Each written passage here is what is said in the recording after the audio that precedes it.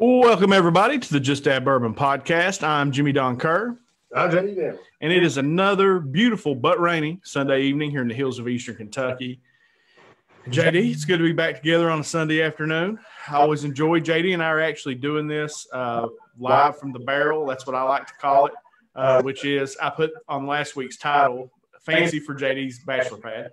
Um, but it's always cool to kind of get together and, and actually be able to see each other. And JD has built this really cool table.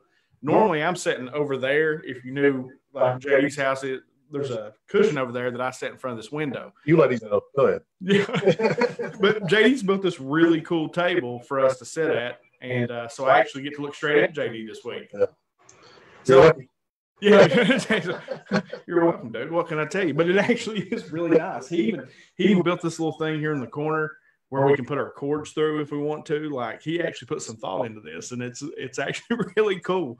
So so well done, JD, the craftsman. I also noticed you had some flowers out there on your porch, and I'm not sure what to say about the flowers. It was beautiful as I walked up the steps, and I got to see a little bit of JD's sensitive side. Um, hey man, don't be hitting on my flowers, bro. I'm not trying that no, But I'm really actually, man. Uh, they was really doing good, but I got a hole in the bottom of that pond, and so I think um, the water's holding in there. So I'm gonna take drill and drill. Yeah, out. drill, actually drill holes in the bottom of it. So Yeah, yeah, yeah. Because I think it's getting like some root rot. Like the there's a lot of I've been picking a lot of dead, you know, blooms on there. yeah, you're talking about something I have no idea. I, Yeah. I, Yeah, let me know about flowers. That's the thing. That's the point of the story. uh, so anyway, how was your weekend, brother? Did you have a good one? Yeah, man, I'm, I'm cool. It's uh, we just chill. I went out Friday night. We went uh, me and my buddy went to the brick house, had some dinner, had some drinks, listened to some live music. You know, ain't much open right now, but we're doing little things like that. So it's cool to you know be out on the patio and enjoy the beautiful Kentucky evening, man. It was nice. It was nice evening Friday too, man. It was really Yeah. nice. Well, Amy's dad, we went over. It was Amy's dad's birthday. My, it's funny. Brad's son Gunner and my father-in-law actually share a birthday. Okay. And so Gunner's birthday was Saturday. It was 27th. And uh, Amy's dad, we call him granddad, was uh, on Saturday too. But we went to his house Friday night. He's built this the sweetest thing because he lives right on the river, right? Yeah. So he's taken these tiles and built this thing out right along the riverbank. And he's built a fire pit on the edge of it and then surrounded it with these chairs. It's like the best part of the campground Yeah. without being at the campground Right. Right. and it was awesome. I mean, like they cooked out, and I sat there and I napped a little bit by the fire. You know, I mean, it was it was really nice. And then yesterday uh, was Gunner's birthday party, so you know, Brad had a crew at his house. There was all his family came from Richmond and and came down. It was a lot of fun. And then we went over to the uh, boat last night. Uh, Larry Jones Jeanette's houseboat over at uh, Dewey and hung out for the evening, which was cool too. So it's always lake days are always good. Last night, man, it started raining. Like I don't know about you all, but I'm a rain geek. Like I was on the porch during a rainstorm. Yeah. Like so I sitting there, having some candles going, some music going, some drinks. I was just in my last night, just by myself, and my buddy stopped by a little bit, and he he bounced. It was just had a lot of fun, man. It was a good time. Like I, that's a good time to me, man. Just sit on the porch, kick back, and watch it. Oh, there ain't nothing better than me, brother. I, I'm not, I'm not the type of guy that actually has to go anywhere. Right. You know, I can sit on my porch, listen to a rain, just hang out, you know, read a book, do something. I said that's actually right up my alley, um, as far as you know, having a good time. Yeah, well, uh, you mentioned the book, man. I started a book club a couple weeks ago, and uh, You started a book club yeah, yeah. for real? Yeah, yeah, I started a book on. Oh, we doing it through Facebook. We had our first meeting on the Zoom actually Thursday. We got we read our first book, and now we're reading our second book. So last night I was out there, and was reading the book, and like I was good, man. You know. Yeah, no, you can't bait it, brother. So, um, before we really kind of get you know into the content of our show, which, if I'm being totally honest, we have none. so, sure we found. We talk. Yeah. we can talk. yeah, we can talk. So I wanted to kind of go back and revisit JD. No, first, uh, did you see the picture of the water leak up on Route Three? Yo, bro, I look like old faithful, right? Dude, that, how crazy is that? I said, you know, a lot of people, you know, JD makes fun of me all the time because I talk about being on the waterboard. We board. want water, water. yeah, like I've never said that on here before. Um, so I got a, I saw a picture earlier somebody sent to me because I don't get on Facebook a ton, um, just to really check our stuff, you know, try to like our stuff or, or you know do whatever. But I don't get on Facebook a ton.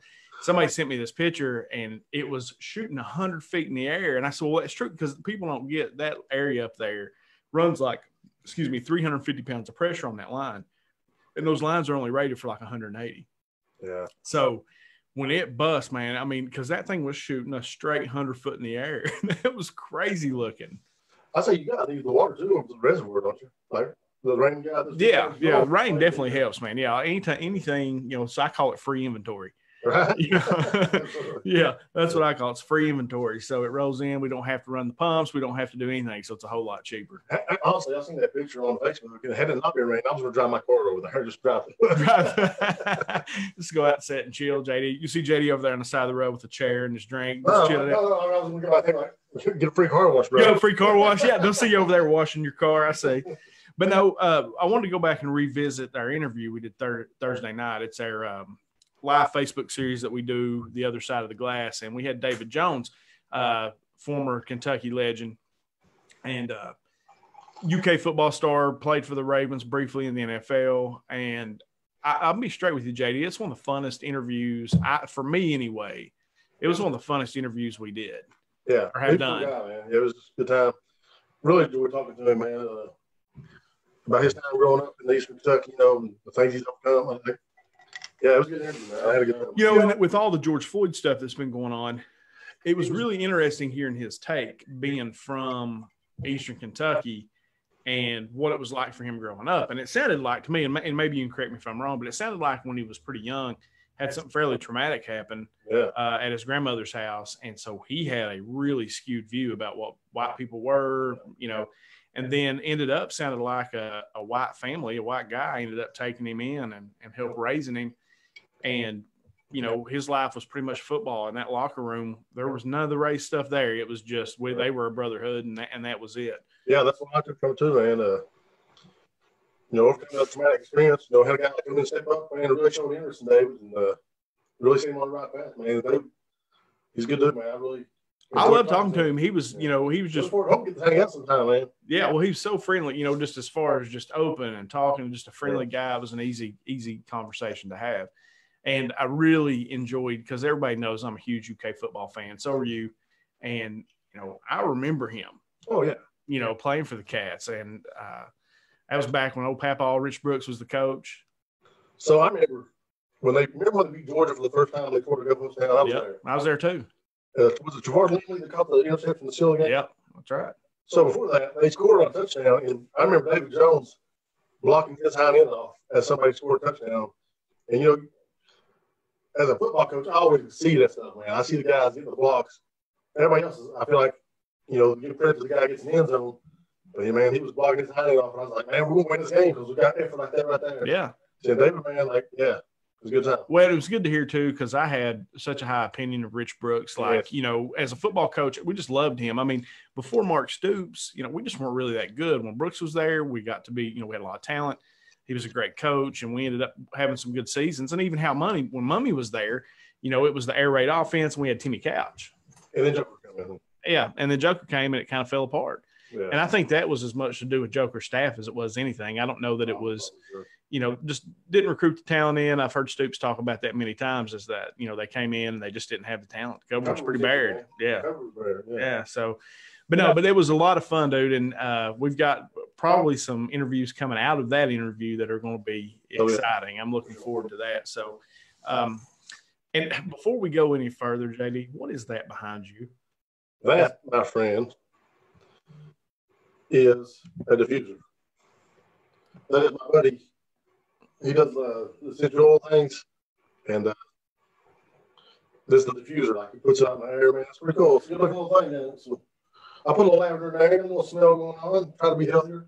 So lavender, that's what that is. Yeah, I kind of dig it. I like it. Lavender. That's the diffuser. I don't know if you can see it on the actual screen, but it kind of lights up and it dims and lights up. It's very uh, clubbish. Um, but I I feel very relaxed. Is that what lavender does? Is it just kind of is this part of JD's game here to when he brings the ladies over, he kicks the lavender on and Well, it hasn't been, but it's about to be. going to the next level. And for those of you that are watching on Facebook right now, if you've got a question or want to comment or anything, we're we're watching the feed. So uh, and anything you want us to talk about, uh, you know, just comment on there and, and JD and I'll try to rap about it. So last week, JD, we were doing the show and I kind of got, I guess, um, my mind got taken a different place because I got a text while we were doing it that something was wrong with my dog. Yeah, And the dog's good. Um, it had, we believe it had a seizure. Oh yeah. And schnauzers, it's a miniature schnauzer, so they are prone to seizures. And something had happened with her once before, like way, you know, it's been several years ago, I feel like. I mean, it was a long time ago where she like kind of locked up one day, just kind of froze on us, and we didn't know what was going on. And then it stopped and she was good. Well, she was at my sister's, and I guess she stopped, and Brad was there too. He had just got home, and she was sitting there trying to walk and couldn't walk, and then just fell over. And so Tiff texted me, and so my mind got completely taken off because that's my that's my girl. Right. You know, I- Amy, was she on the? Is that the one that was on? yes, that's the one that uh Was live? up in my lap that day. Yeah, yeah, yeah. So yeah, that's her, and that's my girl. Um, How's she now? she's good. She was good when I got home. Like when I left here, because I tore out of here, and uh, when I got there, she was fine. She's running around like nothing had happened. Yeah.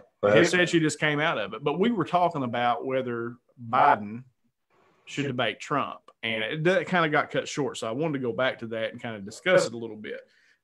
So I'm gonna kind of let you because that was a topic you wanted to talk about. So let's kind of go back and, and revisit that. No, I'm just thinking that, uh, of course, Trump wants to debate Joe Biden, and I don't think Biden has any business on the debate stage with Trump. Yeah, Uh, not that I think his policies are worse than Trump's, I think entertainment value wise, that's what Trump does. That's who he is, and that he gets a chance to really set himself on the debate stage, especially you know he's going to have those zingers, man. Get, I mean, let's just face it. As far as quick wins, Joe Biden's not going to be able to debate Trump, keep up with him. right. So I say Biden can stay away from the debate.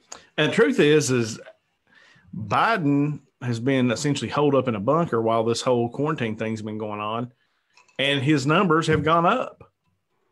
Exactly. You know, I mean, and so why would you? But I think I saw where I think it was after the show that he's agreed to three debates.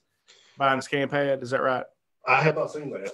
There are three dates set, but I haven't seen where he's agreed to debate. Now, I may be wrong. What would you think though? Like, I mean, every presidential election, every election I can remember, there's been a debate. You know, there's been usually three debates, and like, I mean, that would be kind of out of the ordinary. Yeah, but I mean, if you got to look at it from Biden's perspective, though, he has nothing to gain from doing that. He's not going to win votes. Trump's approval rating is like 38% right now. Yeah, So he may gain 6% if Biden just refuses to debate.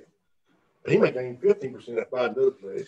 you know, in because my opinion, it's just a smart strategic move. It may make him look weak, but I think it's worth the exchange. Yeah, and it, it may be. You know, I mean, I would like to see Biden get up there just to see how he does. Number one, two, because I mean, I say this on here all the time, and I actually had somebody get mad at us. You know, one day when I brought this up, but like, I'm really concerned for his health. I mean, because like even again the other day, he was doing a speech and he said we've had 120 million die from the coronavirus. He I think can't. being facetious, but Yeah, well, he has. Well, I watched it. It didn't seem facetious. It just seemed like he had a gaff. He just he's doing that a lot, where he talks and then it's like his mind leaves him. And he is an 80 year old man, roughly. I mean, you know, that kind of thing can happen. Um, go Yeah. ahead. Well, I just want to make the point that I made last week. It's like, I'll hear all these people talking about Biden's mental gaffes, but Trump has said crazy stuff in the history of crazy stuff, you know, from windmills giving you cancer to uh, American Revolutionary soldiers taking over an airport.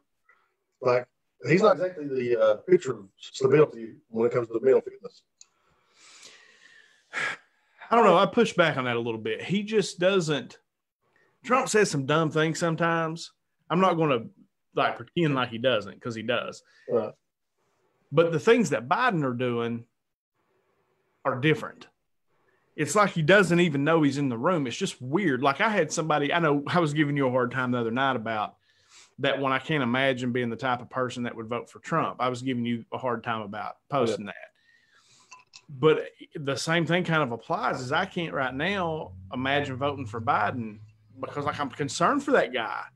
Like, and I'm still not convinced, JD, that he's going to end up being the nominee. I'm Right. still not convinced of that. Right. I understand. Oh, he's the nominee. I think. I think it's clear at this point. I mean, we're awful into it to change gears. Just Well, but they they can do that at the convention. Like I feel like they're going to end up coming up, and well, his mental capacity is such that he can't do this, and like I actually have some concern. Did you, uh, by any chance, watch the uh, Sean Hannity interview, the town hall that he did with Trump the other day? No, So I want to read you one of Trump's responses to one of Sean Hannity's questions. Sean Hannity asked him, said, What's at stake in this election as you compare and contrast? What are your top priority items for a second term? So here's Trump's answer. One of the things that really would be, uh, one of the things that would really be great, you know, the word experience is still good. I always say the talent is more important than experience. I've always said that. But the word experience is a very important word. It's very important to me. I never did this before. I never slept over in Washington. I was in Washington, I think, 17 times. All of a sudden, I'm president of the United States. You know the story. I'm riding down Pennsylvania Avenue with the first lady. I said, this is great. Now I know everybody. And I have great people in the administration. You all you make some mistakes, like you know, an idiot like Bolton. All he wanted to do is drop bombs on everybody. You don't have to drop bombs on everybody. You have to kill people. And that concludes his answer. For what what you want in the second term? he, what he's going that's his priority in the second term. What was what was the answer to that? I Right, but complete rambling, incoherent, nothing. Right, like that. Uh, you ever watched uh, Billy Madison? yeah, And the guy asked Billy Madison a question at the end of the movie. and He goes, I feel dumber. "We're, we're all the lesson." yeah, yeah. That's exactly how I feel like listening. to I that. feel like that. Listen to every one of these politicians, though, you know, and there's none of them that they none answer the actual questions when asked, including Trump. Yeah, that it's- was even like a Well, it wasn't even close Tom to. Yeah, bottom of it. no, there's no doubt that wasn't even close to being remotely what do you look for in a second term. But I don't know. It, it's one of those things where they all speak out of both sides of their mouth. All of them do. He does too. He's no better than the rest of them, and you know, just like Pelosi and Schumer and all those guys are no better than than he is when it comes to that. That none of them ever answer the question they're asked. I could probably take. I could probably take. I don't know, five different interviews from five different people and probably find similar things will be my guess. But that's, I feel like that's different than what's happening to Biden, though. Yeah, so, so it is different. But you see, uh, the F 35 fighter jets are invisible. Or, I told you that's real. Wonder Woman's fighter jet was invisible. I told you that. and I told you that's a comic, so it's not real. so at some point, we have to say, okay, man, what are you going to stand for? Who are you going to be in the second term? And if you can't give me some answer about anything, about any policy, why would I cast a vote for you? Yeah. You know, Well, and I'm this sure- guy- this guy's been caught up in all kinds of fraud charges. He stole cancer money from child cancer funds and put it in his business. I can't vote for a guy like that. I just can't. Yeah.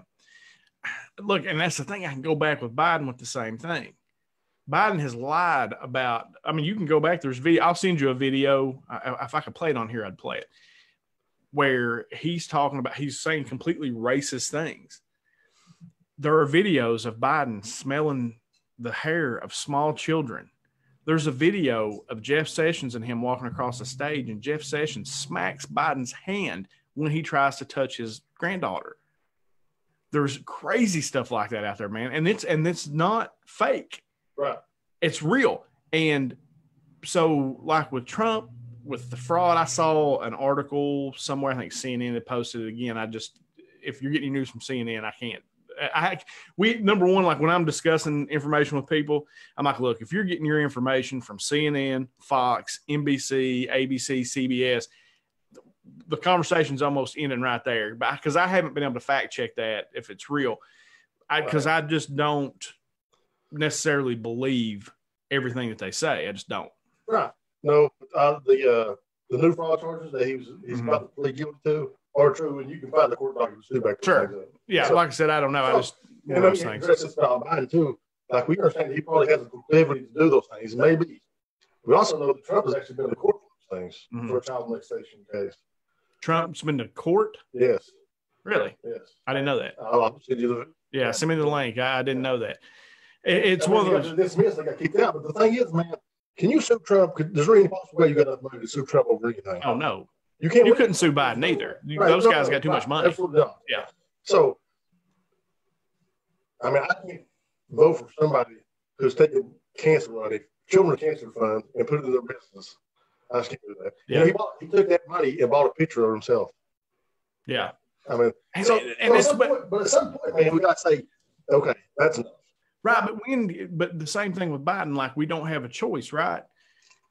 It's like we don't have It's a not a great choice. choice, it's a better choice. Yeah, and see, and see, and I disagree because number one, the the biggest thing is I don't agree with Biden's policies. I, I didn't because I saw a lot of that under the Obama administration, True. and and the things I've seen, what Biden will do, and it concerns me for my area where I live. Like it concerns me. Now we've got our own concerns about things that are going on here, right? I mean, you know, there's people. The coal business is, is definitely. I think it's you know On down, gasping, you know. Um, but I've seen what a Biden presidency will look like. And that scares me a little bit from the standpoint of Obama, where he was with Obama and he ties himself to Obama a whole lot. Yeah. Uh, Obama fixed that economy, though.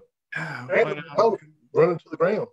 Yeah, I'm not disagreeing about Bush running into the ground. That's a fact. I will push back a little bit. Obama had us on the right track, and then Trump unleashed it. Well, And- you said that, but the first five months of Trump's administration, he had hurt or 1.5 million jobs less than Obama did.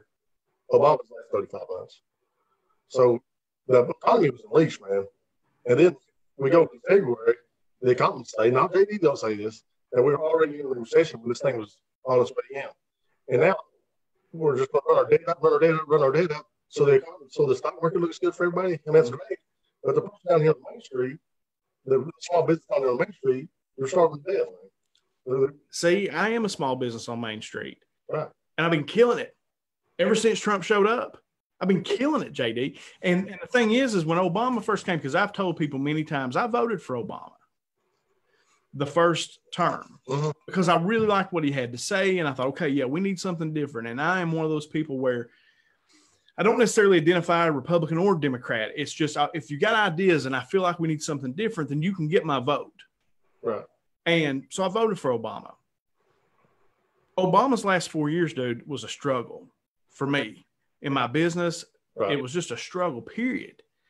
Since Trump took office, it's like somebody lit a fire under my business and it took off. Like I'm not joking. And that's real. right. That's real Main Street. right. right. And there's a lot of people I've talked to that own small businesses that will tell you in the small business community that ever since Trump showed up, it's been phenomenal. Yeah, with this bailout, man, even this bailout, like we're, the small businesses are getting left behind. Right. I mean, we don't even know who's getting the money because there's no transparency. Me, me. I know 50 people that got that money. They got the PPE money. I know 50 people, small businesses that got it. good, good. And that's what I'm saying. Like, you know, the real thing that's happening on Main Street, I've been a part of it. I feel it. Right. And it has been way, way different. And not because the coal business got better. It's the overall health of people. And it's it's got a lot to do with people's expectations or their uh, enthusiasm for the economy. That has a lot to do with it. And under Obama, that was gone. And when Trump came in, in this area. In this area.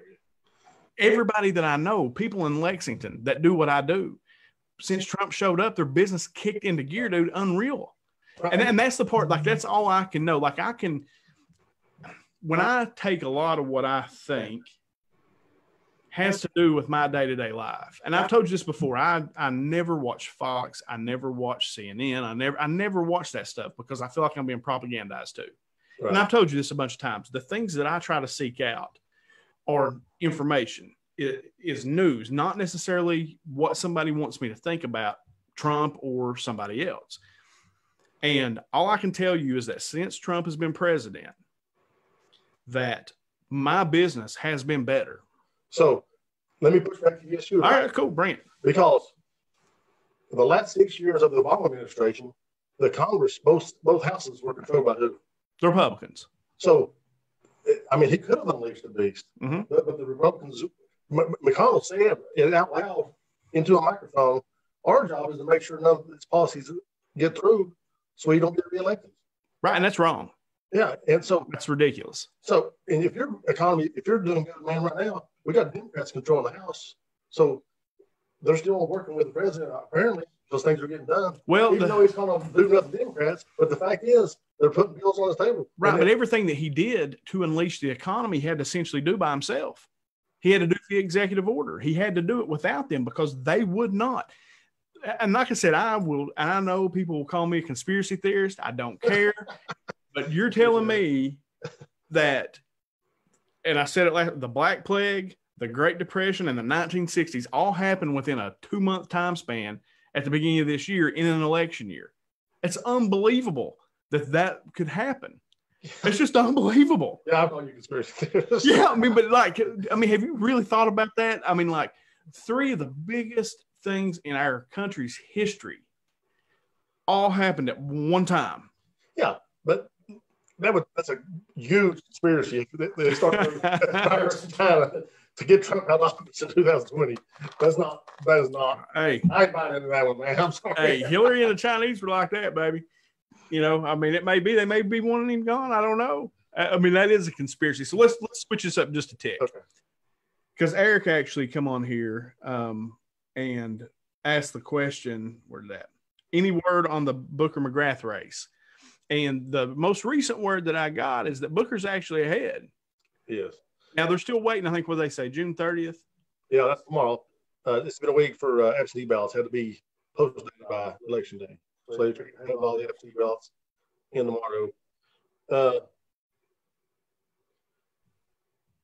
yeah, the uh, it's been a tight race, man. I think it's like 2,000 votes right now. Yeah. But I, I don't know what's I don't I don't know what's still is out. What precincts have you know reported and what hasn't. But either way, it's going to come down to this real tight race. Well, and one thing that I, you know, you heard a lot of, uh, or I was hearing that the national media was really crushing Kentucky, saying that they were trying to suppress the vote. And I, JD, I honestly, because I am, I have always been kind of against the mail-in balloting because I feel like there's fraud that can take place there. But if what I saw is what's happening now, I, Amy and I actually made an appointment and went in and voted. That's what we did. Yeah. Um, but we had record turnout. Louisville had record turnout. Right. So I'm kind of on the fence now about the mail in balloting, if that's something that could truly work. I feel like there needs to be a little more research done because there is some chance of fraud because you have seen some things out in the on the West Coast anyway where 10 ballots were showing up in one person's name. You know, there was, was some random things like that that were going on.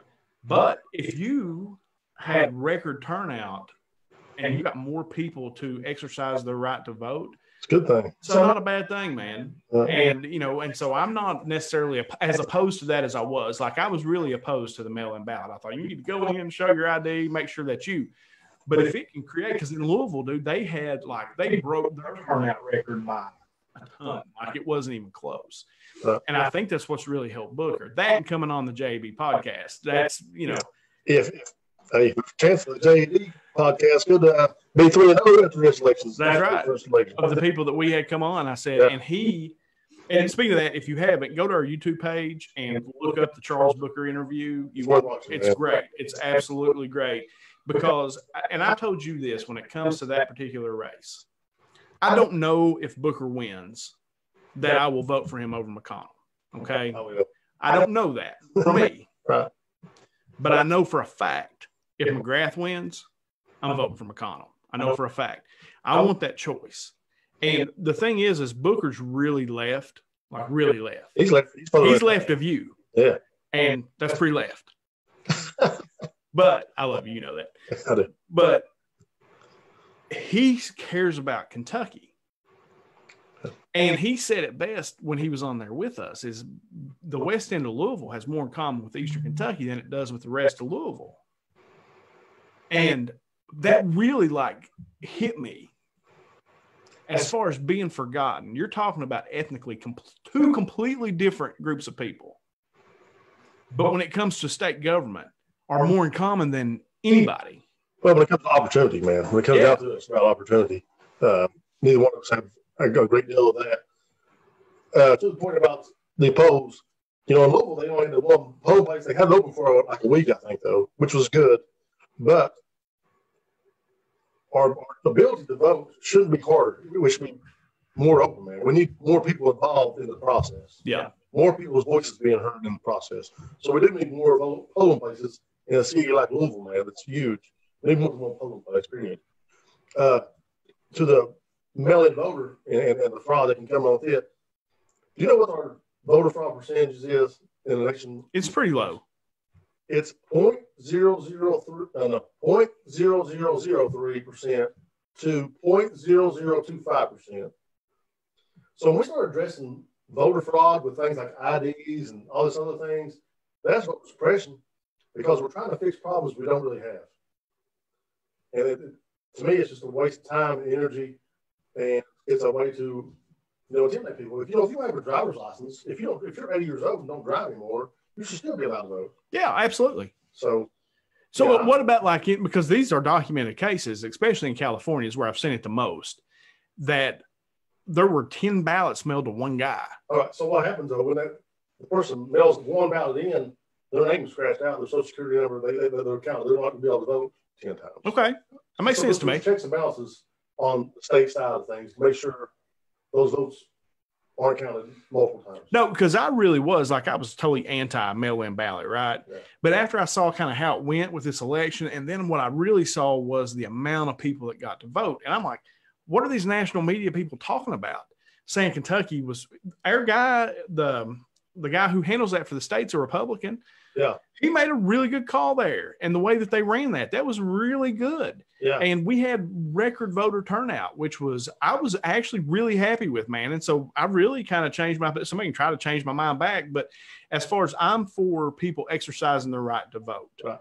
No, everybody's voice needs to be heard, man. It's elections, it's democracy. Well, it's a republic, but we want people to vote. Uh, you know, say Senator Phil Wheeler acted like November, they're trying to do away with the mail-in voting because he thinks there's you know, chances for a voter fraud, which I don't know. Maybe he knows, he knows more about mine than I'm sure. But I'm afraid this thing's going to keep back up and we're going to be shut down again. And people still need to be heard. Voices still need to be heard. People still need to be able to, you know, those, those, eh, make their voice heard by voters. And that's that's the that's the biggest voice we've got, man. And so whatever we've got to do, we need to make sure people are voting. Absolutely. And I agree with that 100% because – again, I talk about my dad a lot, but he had a really, as far as the way that I believe, like the foundation of the things that I believe, like he was Mr. Vote. You go vote. He said, There's a lot of people who fought and died so that you had the right to go and cast your ballot for the person that you want leading our politics. Yeah. And so, no matter what, like even when I was in college, he was like, Hey, have you filed for your absentee ballot? Have you switched your red? Like I was expected to go vote. Right. He expected me to vote. That was one of those things because he was in the military and he believed you go vote. It's a he said it's a um, privilege, not a right. It's a privilege to be able to live in a country. That's how he believed. It was a privilege to live in a country where you had the right to go and decide with your fellow brothers and sisters as Americans who lead your government. Yeah. And he always felt that way. So like I'm like I even take my kids with us. Now we didn't this time because uh, they were kind of with the Brad's kids. They were watching Brad's kids so we could go vote.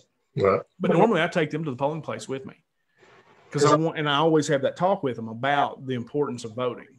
I do want to make sure we make this clear though. We in Martin County on Democratic ticket, Charles didn't win. Did he win? 11 to 4. 11 to 4. Hey, one of those votes came out of my household. I, I don't care to tell you. Yeah, one of those 11 came out of my household. Well, uh, one of those votes came out of my family, too. Yeah. Well, see, I'm now registered. Republican. well, I'm now registered Republican, yeah. and I did that because I've been kicking around the idea of running for political office myself. And if I decide to do that here in this county, you almost have to be Republican to, to do it. Now I don't know that I'm going to. I haven't decided that yet. But Amy was still registered Democrat. Right. So when she went in to vote, and I was like, and she was like, that guy was on your show, wasn't he? And I was like, yeah. She said, I can't stand Amy McGrath. She said all those commercials. So Amy needs to back off the commercials. If that so was, I know pretty much every 11 vote he got. yeah. yeah. So, but that's funny. 11 votes that, you know, it was all that was cast. That's pretty crazy. But no, so I really did. I thought, you know, that's great question, Eric. I'm glad you brought that up because that was uh, the voter thing really it kind of changed my mind after I saw how it went and I saw the record turnout, especially in you know Louisville, which generally has a pretty low voter turnout for the population that it has. Yeah. Lexington was up. I think everywhere was up. Uh, I think 2020 election is going to be crazy. Oh, I, do too, man. people- every person, I I don't know about every person. Like that's pretty ridiculous to say. I say the percentage of people that's going to vote in this election is going to be very, very, very high. It's going to be high, and you're going to have those people who are going to vote against Trump just because it's Trump, Oh, nobody's going to vote for Biden. and Nobody's voting nobody's for Biden. voting for Biden. It's because they don't like Trump. Trump. Absolutely, because then- it's the most polarizing president we've ever had. Yeah. Well, in my lifetime. And then you're going to have. I saw this meme Tiff showed me the other day. It was had Clint Eastwood on it, and it said, uh, "Wait till I show up." And it was the guy who just likes to be left alone. Yeah. And you know, and those are the people who typically are going to vote for Trump because in the last election, by all accounts, Hillary was going to blow Trump out. Yeah. Like all the polls, all the polling data, and all these places had Hillary winning by big numbers, and then Trump wins fairly easily. and they do this time too. And they do this time too. But I don't think that I don't think that people are going to make that mistake again. I think nobody's going to sit at the house and be like, "Oh, we got this." Everybody's going to get out and make sure they vote this time. Yeah. I think. I think, and I'm I'll be interested to see because I've got a bet with the guy that works for me, Ken Stein. Ken, if you're watching, what's up? Um, and he is you talking about left of you, I mean, way left of you. and he and I have these arguments all the time, and it's for fun. I love him. He's a great guy. We agree on absolutely nothing. Yeah. Well, we agree on absolutely nothing politically. Like it is automatically, uh, you know, like a chicken fight. You know, what I mean, Au- automatically. And uh, and he told me, he said, I I would if I had both my legs cut off, I would crawl to the poll to vote against Trump. Absolutely. You know, and so you're going to have a lot of that, Yeah. and you're going to have a lot of people who are silent. Who are like, look, dude, just leave me alone. I just want to, you know, kick my feet up here, chill out, drink my tea, go to work, you know, do my thing that are you're going to have that you're going to be surprised because the what people portray the liberal agenda to be these days and really what they portray the conservative agenda to be aren't what either one of them really are. And so once you get into I, I don't know, it's going to be an interesting election though. So guys, again, if you're watching us here on Facebook, um, we've been getting some good comments. And again, Eric, thank you for that. Um, and then we had da, da, da, where'd it go? I saw it just a second ago. dad just, just uh, messaged me with an interesting observation. Yeah, go ahead. He said the polls didn't recognize or didn't anticipate Comey's announcement of a few days before election of an investigation reopened on Hillary. And then, you know, those investigations back into Hillary's phones really cast a lot of doubt in a lot of voters' minds about how worthy she was of a vote. That's a great point. And I mean, that is, that's a great point. Um, and then I don't know who you probably know this person, uh, Bridget Dylan Gerald says, Are you Yeah. kidding? Trump hasn't done anything. And I would push back on that, Bridget, because I know that in my world anyway, you know, where I realm most days, um, it, life's been a lot different. It just really has. It's just business has been better. It's just everything's better because, and a lot of that had to do with the regulations he took away, um, as much as anything, because it freed us up to do business. can you uh, name a uh, executive order that he made, like a specific executive thing that he did? That, Not right now, I can't. I mean, I'm sure if I could go and you Sure, know, do the research, I could show you, but not not right now Okay, that's fine. on the I fly. didn't mean to. Oh, that's okay. I mean, it's a legit question. I mean, you know, it's a legitimate question, but it's a great point by your dad. Yeah. Is nobody expected that? But I'll, the only pushback I would have on that, in my opinion, is they thought Comey came out and said that because they thought they had it locked up. They didn't think, no matter what they said, that Trump could win. So they didn't think it mattered. They could come out and say this, and it looks like they're, you know, they're trying to be, you know, the second time they reopened it a few days before the election. That but again, but it allows them to to say, well, no, we weren't, you know, against Trump. We were, we were doing this by the book. We were doing this because they thought they had it locked down. The funniest thing in the world, I was sitting there with Brad, and we were watching the election results, and the faces of these people, oh yeah, like they were devastated. And I was like, good, this is more entertaining than the election is watching these people like melt down on TV because Trump won. And I was like, look, Trump, look, dude, if Biden wins, the sun will come up tomorrow. Right. My business will continue on. It may not be as strong as what it has been under Trump. It may be better. I don't know. You know, how do you know? But that's people to get too wrapped up in you know in their political party because look, I don't care if Trump wins or not. If Trump wins, great. I want him to win. I'll vote for him. I don't care to say it. I'll vote for Trump. I think his economic policies have been good, and I have felt them in my business. I have felt them. But if Biden wins, then I can expect to go back to maybe what it was like under Obama, and that's fine. My business still went along. It wasn't as successful because there were more regulations put on. It wasn't. I wasn't freed up to do the business that I've been freed up to do now. But I'll survive. I, I feel like, man, I don't know if this is true because you know your business obviously a lot more than I do. I feel like we give the president way too much credit or way too little credit. It's oh, you're right. He's like the quarterback, dude. He's like the quarterback on a football team. Yeah. yeah. yeah. And so, and it's kind of like what we were talking about last week with the race stuff in these big cities is, you know, and I, and I still believe this, and it's something I'm doing research on is as far as people being oppressed in these cities, and they're all Democratic controlled. Now that may not entirely be true. Okay, it sounds good, you know, to be able to say that, but it may not entirely be true.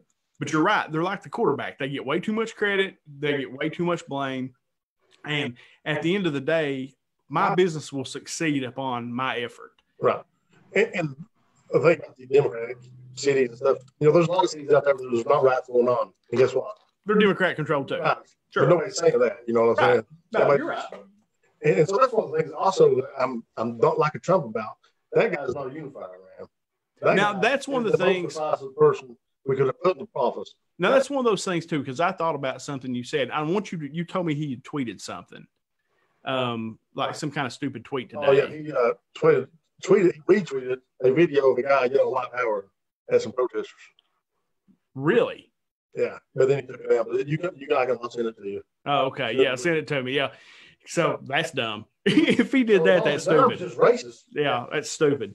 Yeah, I, yeah. I can for that guy, man. Most of us, like, I can't.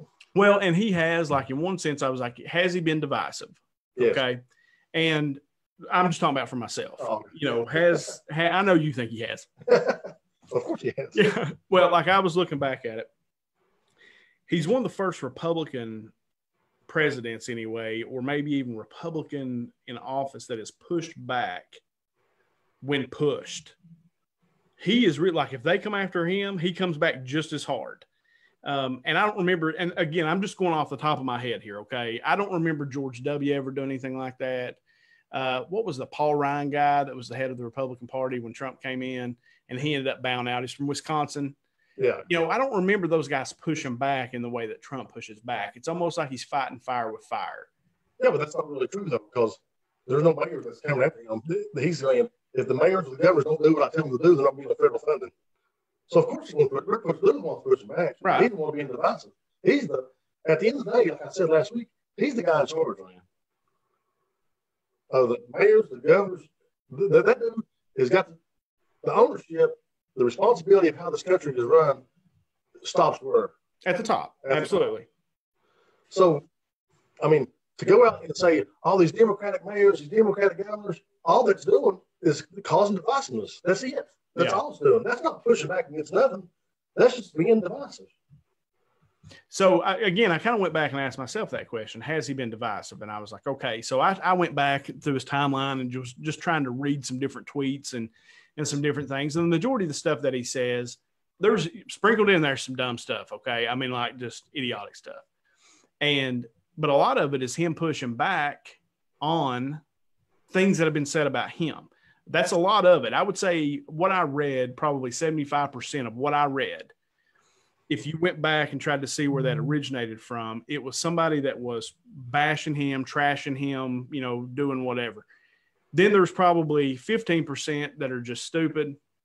And then 5% that are, you're like, oh, who is this guy? You know, like, why is he doing this? But, but there's a difference between what Trump does and what most politicians do, in that it's okay to attack somebody's policies, but to attack them personally, yeah, like he does, that's the fight. He's definitely different, man. I mean, he's the first president in modern history to use Twitter the way he has. Yeah, I mean, stuff out there. Yeah, yeah, man. Like I said, I'll you know I don't I don't agree now putting a thing out that says white power. I can't really defend that. Thank you, thank you, the village for for standing there for the Trump and and this guy's yelling Trump 2020 white power, and that's black protesters. Yeah. To me, man, that's uh, unacceptable, man. Yeah, no, that's At some unacceptable point- to me. At some, at some point, though, we got to say, all right, man, I can't vote for this guy because his character isn't befitting that of a president. And I'm, I'm way past that. Yeah, no, we know. we know. And, and like I said, I don't think If that, a Democrat was acting the same exact way, I wouldn't vote for that guy either. yeah. Because you're talking to a guy right here that would have voted for John Kasich in, in Yeah. 2016. See, And and, I didn't, and I didn't like Kasich either. That's funny that he's probably more center left. Of, you know, that's probably, you're more center left. He's center. Yeah, he's center. Yeah, you're more center left, and I'm more center right.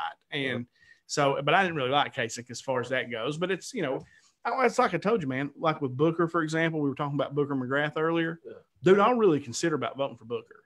Yeah. Like for real. Like if anybody can say anything about Booker at all, they they can't say the guy's not genuine. No, he was he was great, man. On our podcast, you know, when he did that with us, and again, go check that out. It's on our YouTube page. He he was just it was like me and you sitting here talking. Yeah. And it was just he was very down to earth. He was very right genuine. man. yeah, he fit right in with us, and and it was it was great. It's almost like David Jones the other night. It was just like Yeah. I know him my whole life. Um, and no, but no, interesting conversation. Uh, what else was there, JD, that we wanted to talk about? Let's see. Is anybody else commenting? Um, Zach Jarrett commented Trump has been the only one to stand up for America. I don't know that I agree with that, Zach. Most presidents stand up for America. I feel like he has stood up, whether we see this come to fruition or not. I do feel like he has stood up, and Jay, you can push back on this if you don't agree. Yeah.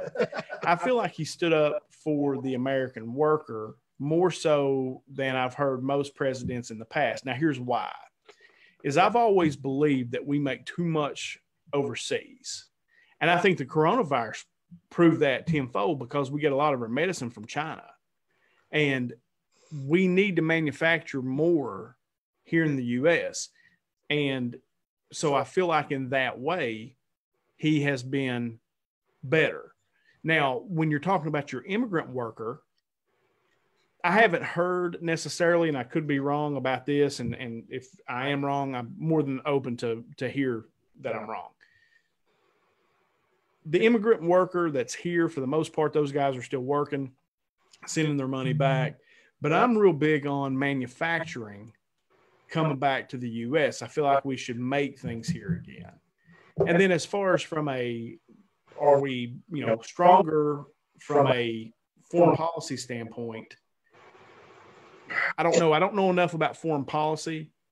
Right. All I know is that we've got China to do things that people didn't think China would do. Like what? The tariffs, that the stuff they've agreed to in the tariffs.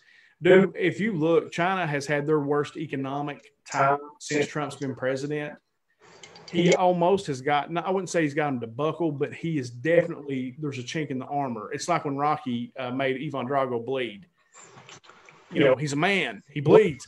And Trump has definitely put a chink in the armor. And like even with North Korea, they thought, oh, he's going to mess with North Korea. We're going to start a nuclear war. That didn't happen. You know, all the things that he's done, he killed that general. Oh, no, we've done this. Nothing happened. I feel like he's been pretty strong in his stances and his foreign policy. So I'm okay with what he's done there. So, I mean, I agree, Zach, he has stood up for America, maybe the American worker, in my opinion. Um, and then foreign policy wise, I'm pretty happy with what he's done foreign policy wise. JD, now push back on that. I'm definitely push back on that. So we got a guy that's standing up for the American worker so much that he has his manufacturing plants in Taiwan. Everybody does, though, dude. Yeah, Everybody does. Dude, that so what? The president. That's should- business, dog. But- He wasn't. He ain't always been president, Let JD. let me talk now. He ain't always been Let me talk, president. let me talk. Go ahead. If a guy wants to help East Kentucky workers, where does he put a factory at? In East Kentucky. Mhm. If a guy wants to help workers in Virginia, where does he put his factory at? In Virginia. If a guy wants to help workers in America, where does he put his workers? In America. He doesn't sell the MAGA hats that we, the Trump supporters seem to be so proud of. He doesn't manufacture those things in Taiwan. Mhm. He doesn't make a deal with China, which he hasn't done yet, and then have to subsidize billions of dollars to pay our small farms because he's running out of business because they can't compete because of his deals. So to say that he's he's standing up for American workers, I mean, I just don't see that, man. Our federal or minimum wage hasn't been up. You know, we could get a lot of tax money, a lot more tax money in our government if we raise the minimum wage too. All he's done is take care of his billionaire buddies. He said he was going to close loopholes for the billionaires. He hasn't done it. He said he was going to do, and everybody's like, like he's fulfilled all these campaign promises. I can't keep thinking one he's, he's fulfilled. Oh, he's building a wall. He is building a wall, but he ain't going to make Mexico pay for it, so he can't get that right. So, go ahead. All right. So, number one, he's just been president the last three years, right? Mhm. All right. Number two, if you're a businessman, you're going to work the channels of business. He probably can't even get those hats made here. He I can get those hats made here. the actual hat, you can produce it. I can get it printed here. Where's the freaking hat coming from? There's got to be a hat to put it oh, on I'm sure. from China and Taiwan. Okay. So where you got to get those things? You can't. Again, it kind of that's the thing when it comes to Trump. Hold on. When it comes to Trump, you want to blame him for something that he has no control over. He's a businessman. Those are the rules. It's just like all the tax loopholes. He said it in the debate. He said, "Look, I'm a businessman. You want the tax rules changed? Then Congress and Senate change them. Otherwise, because JD, I'm going to do the same thing. I'm trying to make money in a business. You can't fault Trump for being a businessman before he was president. The fact I, I mean, I won't guarantee it. Hell, who I don't know, but you probably can't buy those hats. They probably don't make those hats here in this country anywhere. So there's no hat manufacturers in, in America. is that what you're Not that? I'm aware of. So like New Era and all those guys, they don't make hats. Here. Where do they get them from? Do I mean- they print hats? Where do they get the actual hat? there's, there's, there's, there's, I'm sure people would take that business up in a heartbeat with a guy with the money and resources that's Donald Trump, and they would gladly make those hats right here in America. I guarantee it. Right. So your point is moot. No, because the rules are set up. The rules are set up for that stuff to be made there. Okay. So you said that through executive order, he's made the economy better. So why not make an executive order to uh, have hats made here that, that, that, that we make the play field even instead of still manufacturing and outsourcing those jobs? Because people like you would say that he is taking advantage of the system and not working through Congress and Senate to actually do it. But you said he's doing it anyway, bro. He has done some of the stuff to get it done Those, those are one of the on regulations, on on unbinding regulation. He has taken a lot of regulations out that happened with Dodd Frank, two Democrats. Right. They overregulated the market, almost killed it. He unleashed it by taking the regulations away. And this, again, I, I can only go on what I do myself. Sure. So I, I can't speak to being a genius about all, you know, national policy when it comes to the economics. But what he did for me was he took those things out of Dodd Frank and unleashed what we did. That's what he could do on his own. I'm sure he can't just do an executive order for every single thing that we do. Now he's worked through, and I have to give the the House credit or the um, I always get this wrong. You make find of Frank, Dodd Frank was bipartisan. But go ahead. Yeah, I'm sure it was. I'm sure it was because you were going through that economic crisis at the Yeah. time, and they're all idiots. I, I'm not, you know, like I said, I don't. The Republicans aren't uh, don't have any blame in this either. Who So- have blame in this? Huh? Who have blame in this? Oh, they do. Everybody has blame in this. Everybody, nobody's free of that. Right. Um, but he, there's certain things I think that he can do. There's some things I think that he can't. And the Democrats, I got to give them credit when it comes to the tariffs. They were on board with that. They fixed that stuff with the Mexico and Canadian trade deal. You got to give credit where credit's due. But Trump was the one who initiated that and pushed it. So I don't know, man. It's it's all we won't. You and I will never agree. It's entertaining for us to try to argue back and forth about it, but we will never agree, and that's okay. Oh yeah, I still love you, bro. I'm still gonna come here every Sunday and hang out with JD. so Right. so what? The, uh, and I just thought about this. I don't know why, but there's something come across my newsfeed or I seen an article somebody shared on social media. They talking about Trump wanting to get rid of the affordable health care, affordable care act. Like, what do you think about that, man? Like, in the middle of a pandemic, trying to take Um, people's insurance away. I think that's wrong. I'm not necessarily a proponent of the Affordable Care Act the way that it is right now, but I am for all Americans having Oh, that's right. Health care. Yeah. I'm for all Americans having health care. Um, I don't necessarily agree with how it's being done, but at the end of the day, it's like we always say. At the end of the day, you and I want to get to the same place. It just may not, we might not agree. But trying to get rid of it during a pandemic is stupid. Right. So my thoughts on the ACA, man, like I don't think it's perfect. but I definitely it's a step in the right direction towards subsidized healthcare. So that's I think it's great. So one more question, man, and we didn't talk about this either because it's just hit me. Dave, you wouldn't talk about any of this stuff that we're talking right. about. I think I've got a little buzz. It's making me think clearer. I don't know. so I've been in a few debates this week, man, about people actually think the Civil War was started with something that wasn't slavery. Like, I'd like to hear your opinion on that. Like, do you think the Civil War started with slavery? It was. Was it was obviously it was a mixture of things, but was slavery the issue? It was part of it, but it was more to do. And again, oh, no. forgive me. No, the thing is, is it was not, and it it was not the primary driving force. Was getting rid of slavery.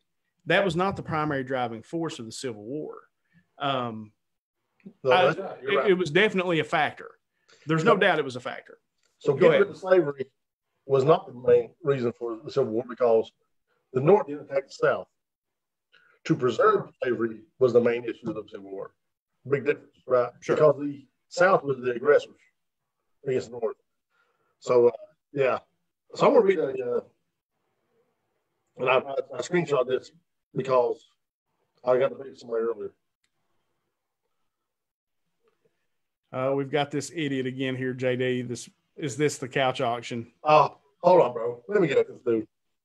I'm gonna get on with. Hold on, homie. I got you. Uh, I got you couch. we're picking up some viewers. They must be uh, out talking that JD and Jimmy Don are, are, debating Trump and they're going at it. we, are picking. Let me read a couple of comments because I, I, I, dig this about doing it this way. All yeah, right. Yeah, That's let me read a couple of these comments while you're looking for what you're. No, I want you to. Yeah, go ahead, hit your couch, dude up. Uh, says Steve Kasdorf says I believe in raising the minimum wage to 15 bucks.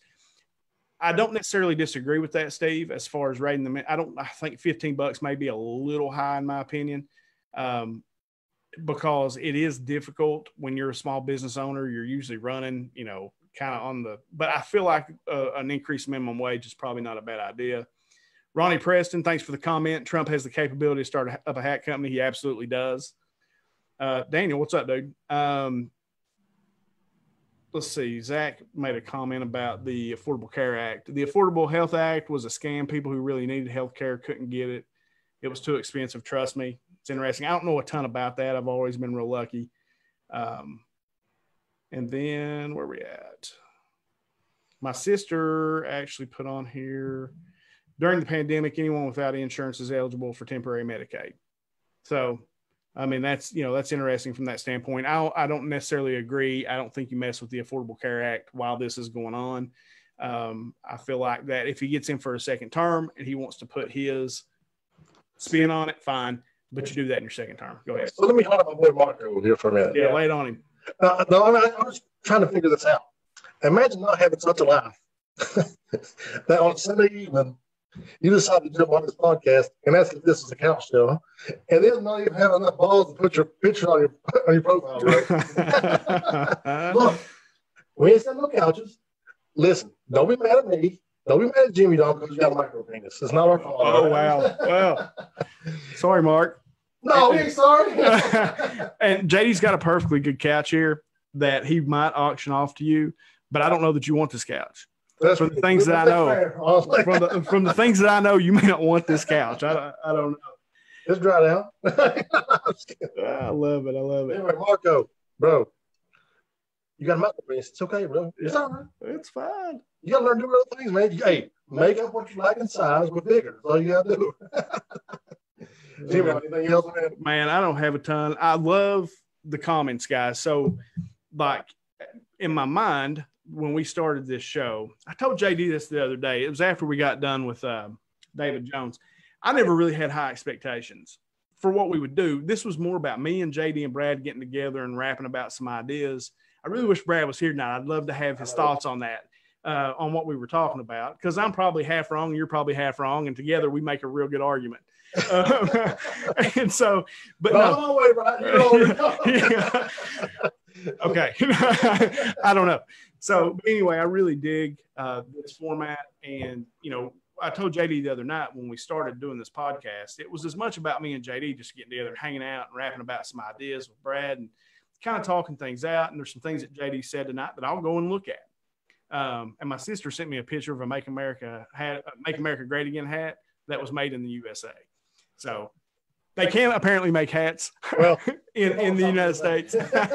it's like we're like KSR facts are optional. Um, uh, apparently, you can make hats in the in the United States. They make them somewhere. And Trump has his hats made in America. So I think I think actually the uh, the new election cycle he is doing that. Yeah. So, but uh, so anyway, but anyway, what I was going back and saying is I never had like great expectations for what this podcast could be. It was just really a chance to, for us to get around and learn from each other. JD and I have completely different ideas, and Brad too. Brad and I don't agree on everything either, and you know, you guys don't agree on everything.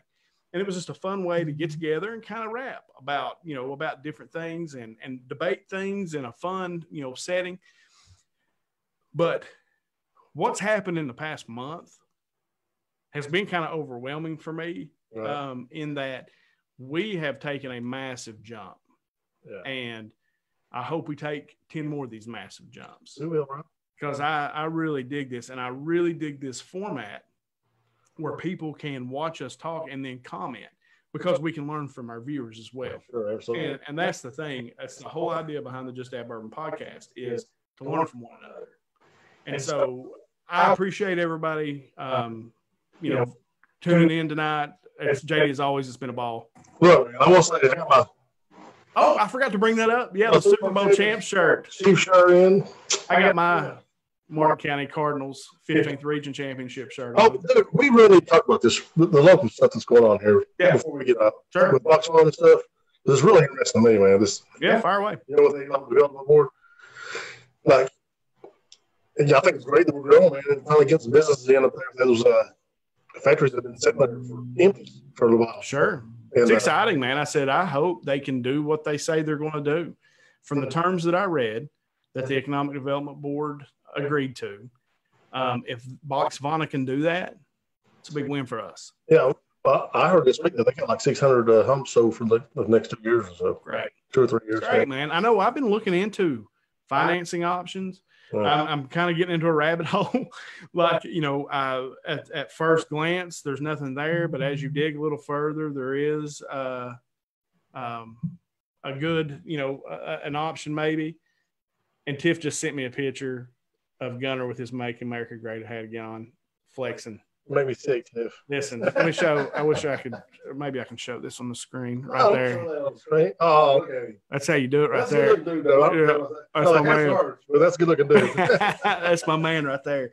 That's my boy right there. Right. Um, but uh, no, man. It's. I hope they can do what they what they've got planned. Yeah. And uh, and if they can, that's a huge win for our county it's nice to see one of those buildings with an actual business in it. Yeah. Um, I drove up there the other night. Ashton, uh, I don't know if I should say it. Nobody's listening, right? It's just me and you talking. Yeah. Right. Just me and you. Dude, I you drive to her house from here to Coldwater. Dude. In the standard shift. Ashton drives me all over the place. It's awesome. I ain't gonna lie. I, I didn't know what I was missing. Well, I ain't gonna say we did about ready a couple times. well, all right, maybe I should be honest, but yeah. Well, we was a standard shift, man, and she's just doing pretty good. Like I'm glad she's learned in my little class speed because yeah. she can do that, man. She can do anything. Yeah, you're right. I mean, and I let Ashton drive me around, but we were drive. I told her let's drive up there and check things out. I haven't been up there in a while. I drive up there occasionally and daydream about what I could do like what business could I come up with to put in one of those buildings? I do that every so often. I, it'd been a bit since I'd been up there. And I thought, well, it's time to do that. Ashton's driving. I want to drive up there because the Botswana things kind of got me fired up. Yeah. Um, about what could happen for our little county here and, and the jobs that could be brought in. And so kudos to the Economic Development Board. Absolutely. Um, you know, here in our county, great job. And, uh, and like I said, I'm, I'm hoping, man, it works out.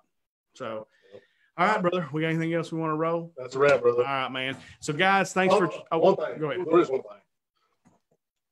For all y'all listening, very soon we're going to have some Just Add Bourbon memorabilia. We are going to do that. Yep. Uh, you get hit up, people want t-shirts, stickers, all that stuff. So we're, we're about to start getting serious about that, man. You know, we're getting four or five thousand views a week. Yep. So things are good, man. I said it's uh, it has far exceeded any expectations I had. Right. And now my expectations are real high. so, yeah. you get that, baby. Yeah. The naivety of not knowing you can fail. You know? Yeah, that's right. That's that's fun, man. It's like just try it. So I can tell my kids all the time, I'm getting ready to venture on something. I worked on a video today that I'm going to put out. Um, that's kind of along that line. Is it the, the, the surprise? Yeah.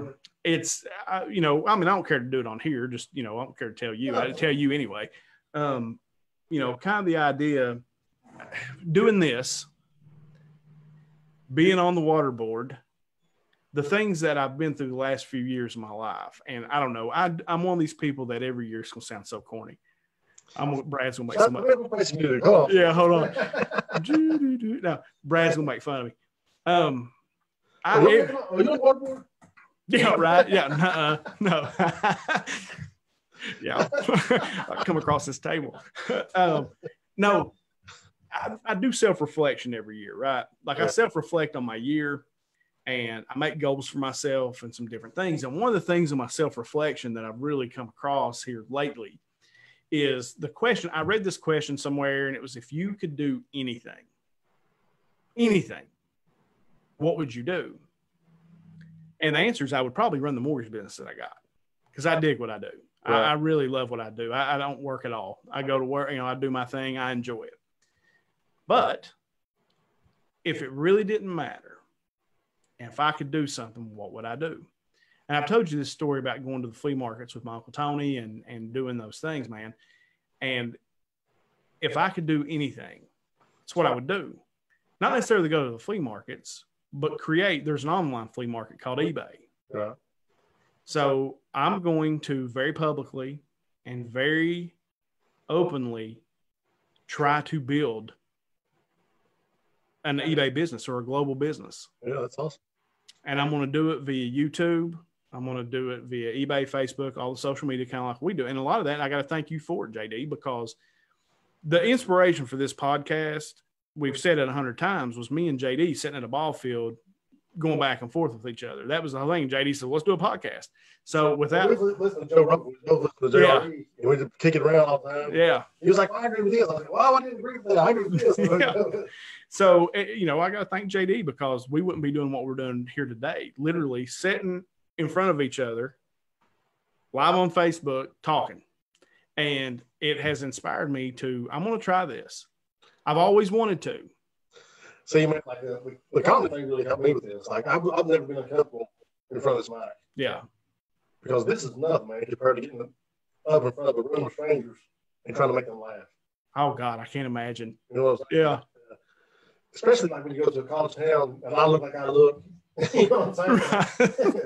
and so uh, a lot of people have a lot of preconceived ideas about me. So this has never been hard for me. Yeah. I, I really enjoy it, man. Like, I'm glad we're getting comments about people's listening. And that's about it, man. Yeah, I, I got a buzz. That's it. right. my, my, man, I swear to God, he carries in his refrigerator now every week. I, I know I brought it up last week, but JD, show everybody what you've got setting over there. I did something different this week. I tried the Sunny D with the uh, strawberry, orange strawberry. I mean, it's okay. I went back to the pineapple juice because I like the pineapple juice, bro. And look, this of trace under 30 bucks. You can't. I mean, we're from liquor store. Under thirty bucks, you can't really beat that, bro. Yeah. For a bottle of Buffalo Trace. Yeah. And I look, mean, if you take bourbon, you can make cocktails and never take bourbon. You know what I'm saying? But fortunately for me, I like both of them. yeah. All right, man. We'll wrap this thing up. Um, JD, once again, it's cool dude hanging out. Always appreciate you allowing me in the barrel. Uh, that's I, have coined it now. That's that's what it's called. Yeah, I won't say my real name for it off on there. no, no, no. My mom watches this show. No, no, um, no. No. All seriousness, guys. Thanks. Uh, the what we've seen here the last little bit, it's been great, and we appreciate it. So, of course, go to iTunes. Download the podcast on iTunes. I'm going to leave here. I'll go get everything put up and, and get it on iTunes. Are we staying on Facebook? We're going to YouTube. No, we will. We'll announce it and that's something I got to talk to you actually when we get off air because I'm going on vacation next week. So I may do the show live from Florida. Um, we didn't even talk about the coronavirus stuff. Um, no, that's what. Look, this is proof positive that JD and I can sit down and talk about nothing for an hour.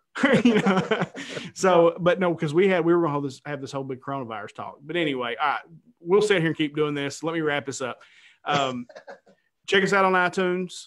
Uh, of course, the Podbean app, you can go there, subscribe there as well. Spotify, uh, YouTube, all these videos are going up on YouTube now. So if you want to catch up on some of the older shows, um, you can go there and, and pick them up. Uh, go and subscribe to YouTube, guys. We're really trying to push that. We want to uh, get everybody over on YouTube if we can. Um, JD posted a link a few weeks ago or last week um, where you can literally click on it and go and subscribe. And then, of course, Eric's doing great content on Instagram, Facebook, um, Twitter, all the places, all the social media platforms. So, for myself, from JD, and from Brad at work, no matter how bad your week's been, no matter how bad your day's going, you just add bourbon. It always gets a little bit better. Thanks, guys. See y'all next week.